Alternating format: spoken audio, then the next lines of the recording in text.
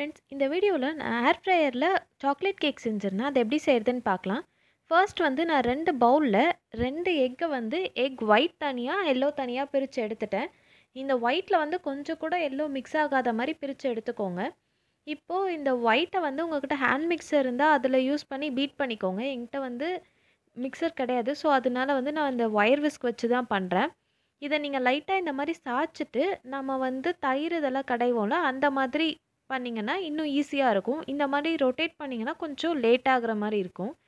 இதை வந்து ஒரு பதினஞ்சு நிமிஷத்துக்கு நீங்கள் பீட் பண்ணிங்கன்னா உங்களுக்கு ஃபோம் மாதிரி ஆகிடும் இது வந்து ஒரு ஃபைவ் மினிட்ஸில் இந்த மாதிரி நொர மாதிரி ஃபார்ம் ஆகிடுச்சு பார்த்தீங்களா இதை இன்னும் நீங்கள் வந்து பீட் பண்ணிகிட்டே இருந்தீங்கன்னா இந்த பபிள்ஸ்லாம் இன்னும் சின்ன சின்ன சைஸில் ஃபார்ம் ஆகி ரொம்ப இந்த மாதிரி ஒரு கன்சிஸ்டன்சியில் இருக்கும். இதை நீங்கள் இப்படி சுற்றிட்டு எடுக்கும்போது அந்த ஒரு சாஃப்ட் பீக் வருதில்ல இந்த மாதிரி. உங்களால் முடிஞ்சால் இதுக்கப்புறமும் நீங்கள் இன்னும் நல்லா பீட் பண்ணலாம். பட் என்னால் முடியலன்னு நான் இதோட ஸ்டாப் பண்ணிட்டேன். அடுத்து வந்து எக் எல்லோ இருக்குல்ல இதை வந்து நம்ம பீட் பண்ணணும். இதில் ஒயிட் மிக்ஸ் ஆனாலும் எந்த பிரச்சனையும் இல்லை. இது கொஞ்சம் வந்து ட்ரை ஆகிடுச்சு ஸோ அதனால் நீங்கள் பண்ணும்போது கவர் பண்ணி வச்சுக்கோங்க. இதை நீங்கள் பீட் பண்ணும்போது இது வந்து ஒரு லைட் எல்லோ கன்சிஸ்டன்சிக்கு வரணும். நான் இதை நல்லா பீட் பண்ணிவிட்டு ஒரு லைட் எல்லோவுக்கு வந்துருச்சு. இன்னும் கொஞ்சம் நேரம் கூட நீங்கள் இதை பீட் பண்ணிக்கலாம். இப்போது இதில் வந்து மற்ற வெட் இன்க்ரீடியன்ட்ஸ்லாம் ஆட் பண்ணிக்கலாம். நான் வந்து இதில் தேர்ட்டி எம்எல் மில்க் எடுத்திருக்கேன். இது கேக் வந்து ஒரு டூ ஃபிஃப்டி கிராம்ஸ் வரும். நீங்கள் வந்து ஃபைவ் ஹண்ட்ரட் கிராம்ஸ் செய்கிறீங்கன்னா இதை டபுள் அளவு மெஷர் பண்ணிக்கோங்க. நல்லா மிக்ஸ் பண்ணதுக்கு அப்புறமா நான் இதில் வந்து half spoon vanilla essence add பண்ணியிருக்கேன். நீங்கள் மறக்காமல் வந்து வெனிலா எசன்ஸ் ஆட் பண்ணிக்கோங்க. இல்லைன்னா வந்து குக் பண்ணதுக்கு அப்புறமா எக்ஸ்மெல் அடிக்கும். இதில் உங்களுக்கு வேணும்னா ஏலக்காய் கூட ஆட் பண்ணிக்கலாம். இல்லைனா கொஞ்சமாக வாட்டரில் காஃபி பவுடர் மிக்ஸ் பண்ணி நீங்கள் ஆட் பண்ணிக்கலாம்.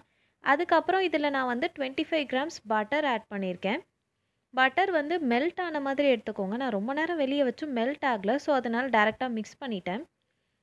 அதுக்கப்புறமா வந்து இதில் நான் சிக்ஸ்டி ஃபைவ் கிராம்ஸ் வந்து மைதா அதில் செவன்ட்டி ஃபைவ் கிராம்ஸ் வந்து சுகரை அரைச்சி சேர்த்துருக்கேன். நீங்களும் வந்து சுகரை அரைச்சி ஆட் பண்ணிக்கோங்க. இல்லைனா அது மிக்ஸ் ஆகாது. அதுக்கப்புறமா இதில் வந்து ஒரு பிஞ்ச் சால்ட் ஆட் பண்ணிக்கோங்க. சால்ட் அதுக்கப்புறமா வந்து கால் spoon baking powder baking powder ரொம்ப அதிகமாக போட்டுறாதீங்க. நான் சாக்லேட் கேக் செய்கிறதுனால இதில் வந்து கொக்கோ பவுடர் ஆட் பண்ணியிருக்கேன். நீங்கள் வந்து பிளெயின் கேக் செஞ்சீங்கன்னா நீங்கள் இந்த கொக்கோ பவுடரை ஸ்கிப் பண்ணிடலாம். நான் வந்து ஒரு ஃபோர் ஸ்பூன் ஆட் பண்ணியிருக்கேன். உங்களுக்கு இன்னும் சாக்லேட் ஃப்ளேவர் அதிகமாக வேணும்னா நீங்கள் நிறையா ஆட் பண்ணிக்கோங்க. இப்போது இதை வந்து நல்லா மிக்ஸ் பண்ணிவிட்டு அதுக்கப்புறமா நம்ம எக் இருக்குல்ல அதோடு ஆட் பண்ணிக்கலாம்.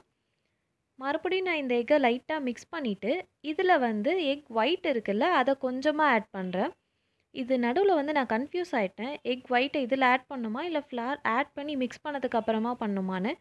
ஏன்னா இதில் ஆட் பண்ணும்போது அந்த பபிள்ஸ்லாம் உடஞ்ச மாதிரி இருந்தது. பட் ஆனால் நீங்கள் இந்த கன்சிஸ்டன்சியில் தான் எல்லாத்தையும் ஆட் பண்ணணும். நான் வந்து மறந்து போய் ஃப்ளார் ஆட் பண்ணிவிட்டு மிக்ஸ் பண்ணதுக்கு அப்புறமா நான் இதில் வந்து எக் ஒயிட் ஆட் பண்ணிட்டேன். நீங்கள் வந்து முன்னாடியே எக் ஒயிட்டை மிக்ஸ் பண்ணிவிட்டு அதுக்கப்புறமா இந்த ட்ரை இன்க்ரீடியன்ட்ஸ்லாம் ஆட் பண்ணுங்கள் இதை வந்து உங்கள்கிட்ட அந்த ஸ்பேச்சுலா இருந்ததுன்னா கட் ஃபோல்ட் மெத்தடில் மிக்ஸ் பண்ணலாம். என்கிட்ட இல்லைன்றதுனால நான் இந்த ஒயர் விஸ்க்லே பண்ணுறேன் ஃபுல்லாக எக் ஒயிட் எல்லாம் ஆட் பண்ணதுக்கு அப்புறமா தான் கன்சிஸ்டன்சி சேஞ்ச் ஆகும். நீங்கள் இதை ரொம்ப ஹார்டாலாம் வந்து போட்டு மிக்ஸ் பண்ணக்கூடாது. மைல்டாக தான் மிக்ஸ் பண்ணணும். ஓவர் மிக்ஸ் பண்ணாலும் இந்த கேக் வந்து ஃப்ளஃபியாக வராது. ஸோ ஃபைனலாக மிக்ஸ் பண்ணதுக்கு அப்புறமா இந்த மாதிரி ஒரு கன்சிஸ்டன்சியில் இருக்கணும். நீங்கள் வந்து நிறையா வந்து லிக்விட் ஆட் பண்ணிட்டீங்கன்னா அது வாட்ரி ஆகிடும் இல்லை ட்ரையாக இருந்ததுன்னா அதுவும் வந்து கேக் சரியாக வராது. ஸோ இந்த கன்சிஸ்டன்சியில் இருக்க மாதிரி பார்த்துக்கோங்க. இதை வந்து உங்ககிட்ட கேக் டின் இருந்ததுன்னா அதில் நீங்கள் ட்ரான்ஸ்ஃபர் பண்ணிக்கோங்க. நான் வந்து இந்த பவுலில் சுற்றி பட்டர் அப்ளை பண்ணி வச்சுருக்கேன். அதில் தான் இதை யூஸ் பண்ணுறேன் பட்டர் இல்லைனா ஆயில் அப்ளை பண்ணிவிட்டு அதுக்கப்புறமா அதில் போடுங்க. உங்ககிட்ட பட்டர் பேப்பர் இருந்தால் நீங்கள் அதை கூட யூஸ் பண்ணிக்கலாம். லைட்டாக டேப் பண்ணிவிட்டு நான் இதை வந்து ஏர் ஃப்ரையருக்குள்ளே வைக்க போகிறேன் ஏர் ஃப்ரையரை நான் ஆல்ரெடி வந்து ஒன் சிக்ஸ்டி டிகிரி செல்சியஸில் ஃபிஃப்டீன் மினிட்ஸ்க்கு ப்ரீ ஹீட் பண்ணிட்டேன். ப்ரீ ஹீட் பண்ணதுக்கு அப்புறமா தான் நான் இந்த பவுலை உள்ளே வச்சுட்டு இது கொஞ்சம் சென்டராக இருக்க மாதிரி பார்த்து வச்சுக்கோங்க. எப்படி வச்சாலும் ஓரமாக தான் போகும். பட் லைட்டாக வந்து சென்டராக தள்ளிட்டு நீங்கள் உள்ளே வச்சுக்கோங்க. நான் இதில் ஆல்ரெடி இருக்க மெனு செட்டிங்ஸ் யூஸ் பண்ணி தான் இதை பேக் பண்ண போகிறேன் இப்போது ஆன் ஆனதும் ஆன் பண்ணிவிட்டு மெனுவில் நான் வந்து இதில் கப் கேக் சிம்பிள் இருக்குல்ல அதை செலக்ட் பண்ணிக்கிறேன். ஸோ அதில் வந்து ஒன் சிக்ஸ்டி டிகிரி செல்சியஸ்க்கு டுவெண்ட்டி ஃபைவ் மினிட்ஸ் பேக் ஆகணும். நீங்கள் மிடில் வேணும்னா எடுத்து டெஸ்ட் பண்ணிக்கலாம். டூத் பிக் இல்லை ஏதாவது ஸ்டிக் வச்சு நீங்கள் இன்சர்ட் பண்ணி எடுக்கும்போது அதை ஒட்டாமல் வந்ததுன்னா வெந்துருச்சுன்னு அர்த்தம். டுவெண்ட்டி ஃபைவ் மினிட்ஸ்க்கு அப்புறமா கேக் பார்க்க இந்த மாதிரி தான் இருக்குது நானும் இதில் நிறையா டைம் ட்ரை பண்ணி பார்த்துட்டேன் பட் ஃபுல்லாக வந்து ஃப்ளஃபியாக வரல. இந்த மாதிரி ஒரு சைடில் ஒரு கிராக்கோட தான் வருது. அண்ட் கேக் வந்து நார்மலாக பேட்டர் வைக்கிறத விட டபுள் சைஸில் வரணும். பட் இது நம்ம எந்த அளவில் வச்சோமோ அதே அளவில் தான் இருக்கும்.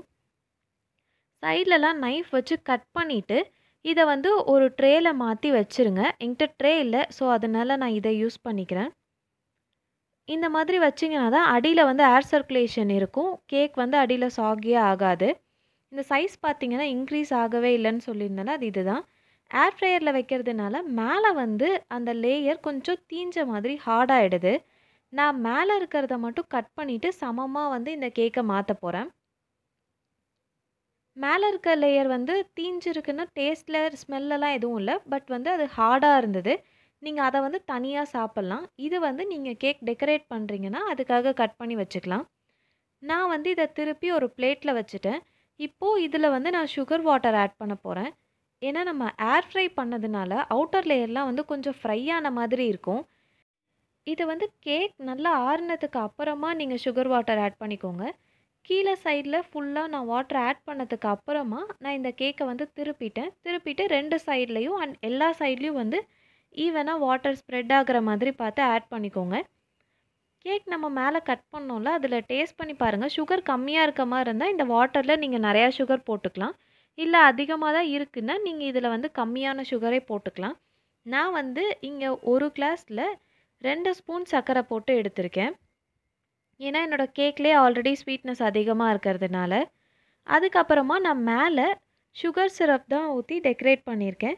உங்களுக்கு விப்பிங் க்ரீம் அதெல்லாம் யூஸ் பண்ண தெரியும்னா நீங்கள் விப்பிங் க்ரீம் செஞ்சு கூட இதுக்கு மேலே டெக்கரேட் பண்ணிக்கலாம். இல்லை சாக்லேட்டை வந்து மெல்ட் பண்ணி யூஸ் பண்ணிக்கலாம்.